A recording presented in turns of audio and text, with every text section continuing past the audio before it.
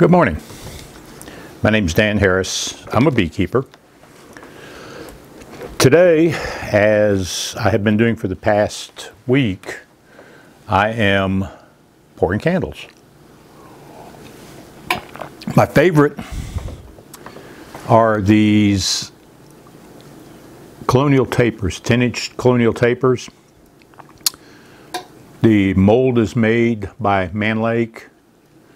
I like these a lot because they're elegant. You, know, you put them in a put them in a candle holder. Well, I need to trim the bottom of this one, but you put them in a candle holder.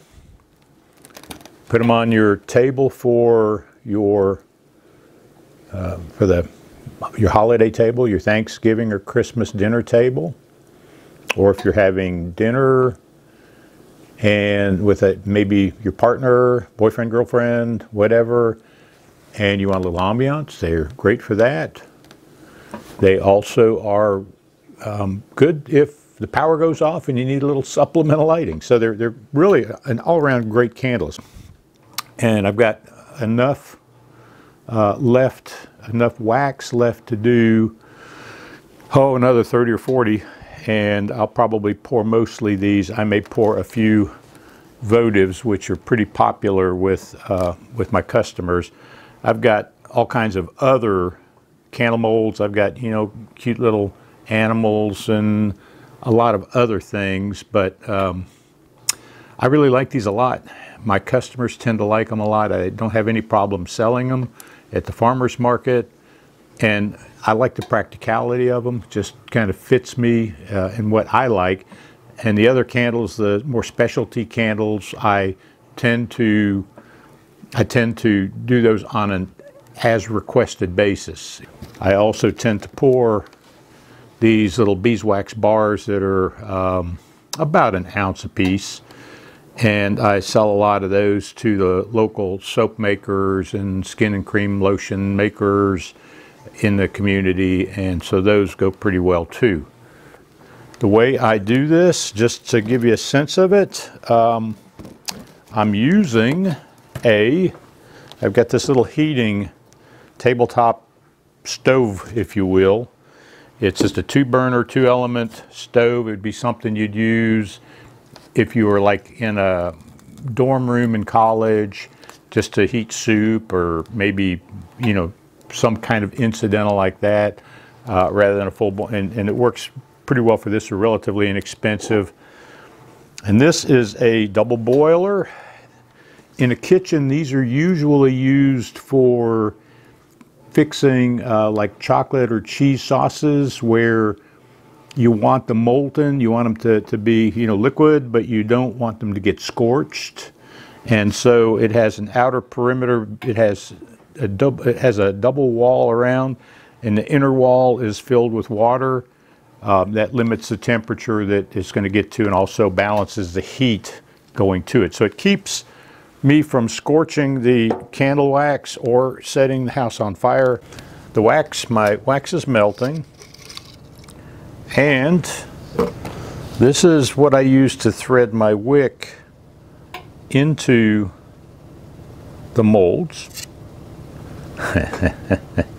it's, it's a piece of wire, steel.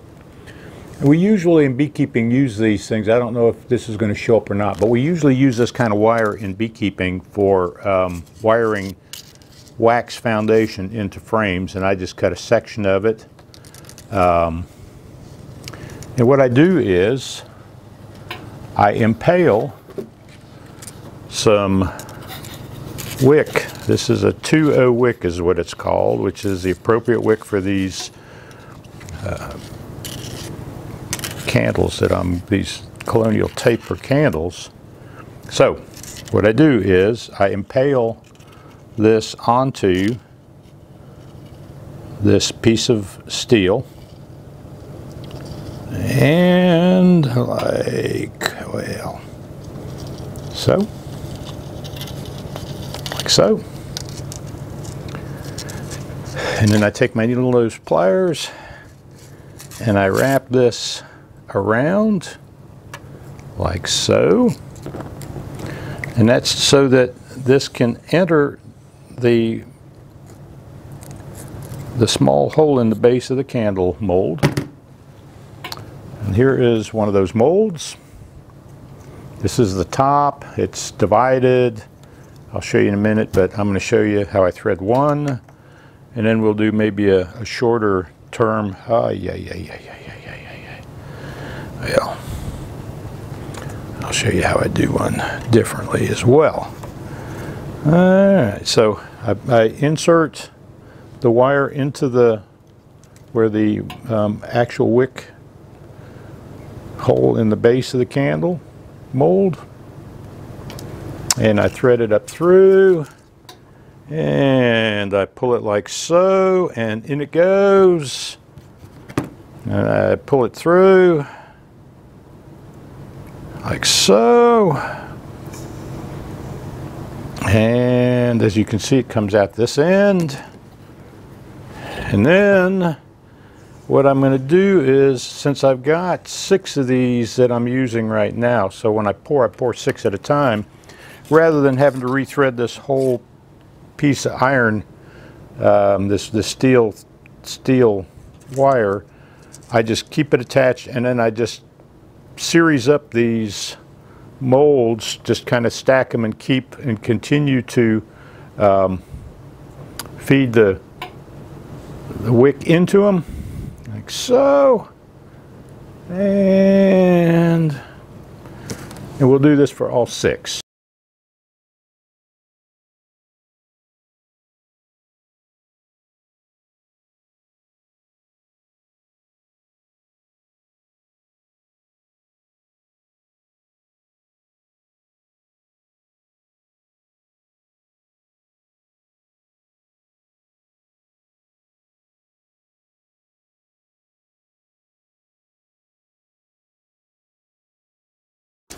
So I daisy chained them together, threaded them all up with their wicks.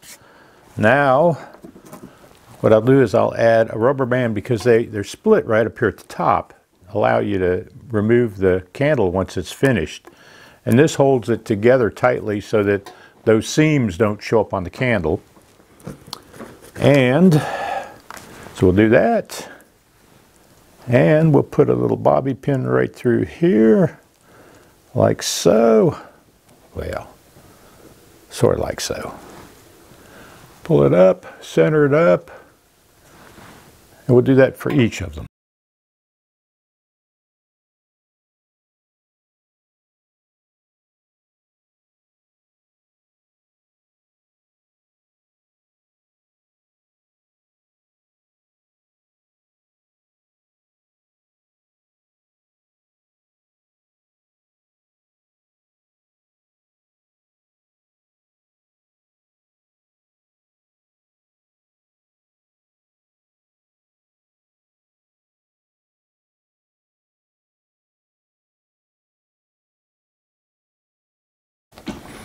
So, the next thing I do is I'm getting very close to time to uh, pour the candles. This pouring pitcher sits on my smaller burner on this tabletop stove. So I turn it on to heat up the base of that and melt any wax that's in there. And when I start adding wax to it, it won't, it won't quickly coagulate in the bottom and so I want it warm enough that, it, that, that the wax stays melted in it. Number two, I really, really, really, really like this particular mold release. I don't have any kind of paid promotion for it. So um, it's called Smooth On Universal Mold Release. And I'll tell you, um, I've tried a lot of different mold releases. And where this one really passed my test anyway, was when I was pouring some of those jumbo pine cone molds. I don't know if you've seen those, but they're huge pine cone. Has all the little tabs coming out of the pine cone. And every time I pour them, just 99% of the time, or surely 90% of the time, the some of the tabs would get broken off when I tried to get the candles out of the mold. And I tried a lot of different things. I tried to you know, freeze them after they had been poured and cooled and uh, a lot of different things. But this stuff, when I started using this, just by accident, I got a can of this and I started getting a lot more consistent results and I can probably get 70 or 80% of them out of those molds consistently without breaking anything. So kind of sold me on this stuff. All right, enough for the promotion. So I'm going to take all of these colonial tapers and I'm going to spray some mold release into each. And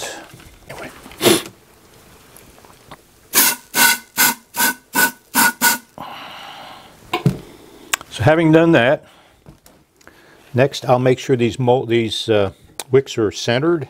So I'll pull that little tab on the bottom up center this up here and just pull it snug enough that I can see that the candle, the, the wick is actually centered, like so. And continue to do them, get them all done. So those guys are pretty much centered up. And, and after I do my first pour, I'll, I'll kind of recenter them, but they ought to be pretty close to start with. That's kind of the whole idea there. All right. So I take this guy, it's been heating just a little bit. Probably not as much as I'd like, but it'll be okay. And I'm going to fill it. I like the small pouring pitchers, a little easier to manage. And I'll I probably fill it maybe a third, certainly less than a half with uh, molten wax. And that too makes it a little easier to manage. So then after having done all of that, centered up the wicks, got this a third to half full of wax, I'll gradually pour, relatively gradually pour the uh, wax, and I try to pour it down the wick. And I try to pour down the wick so I don't get as much air when it you know hits the bottom and splashes around. I don't want that. I want as little air in in this as is possible. These molds in particular um, have a have a habit of capturing air at the neck of the, the between the base and the candle itself and that will cause it to fracture there when you remove it from the mold. Or actually it's fractured before you even ever try to move it remove it from the mold. So there's the last one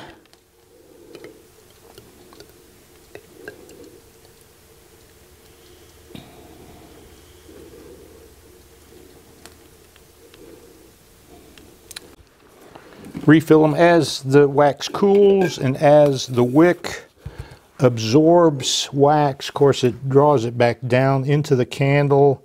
And so while it's still molten, I'll pour a little bit more to finish filling them, like so. And it just takes a dab, just a dab.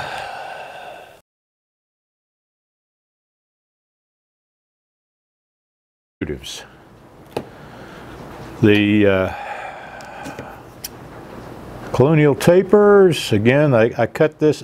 The main reason I cut the bottom of these off like so is so that I have less wick to pull back up through the candle and it just uh, is that much less likely that I'll cause any kind of damage pulling the can candle out. There's just that much less resistance.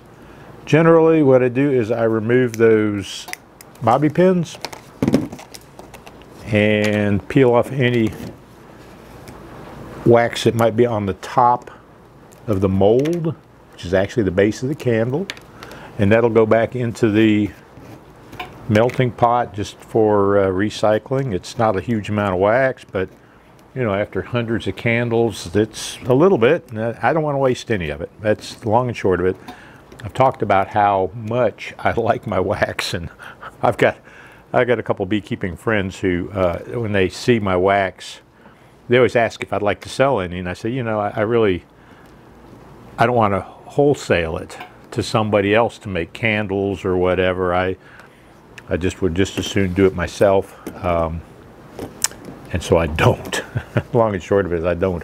I try to be a nice guy, but you know, I don't always don't always do what people would like me to do. So anyway, I've removed the rubber band around so I can spread the uh, top of the mold.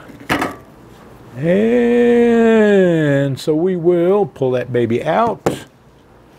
And ta-da! There she is.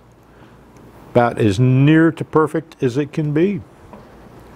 Um, and I got five more of those to do. I've got the boiler warming up for another batch. And uh, this is the story of my life right now. it's, it's a good story. I, I'm not complaining. It's just what I'm doing right now. Um, so that's basically how I do my candles. And I'm sure I'll think of other things later, but at the moment, uh, this is this is what I'm doing. Uh, and, and, it's a rainy day out, so I'm going to be doing indoor things. This is just one of many. And um, yeah, thanks for watching.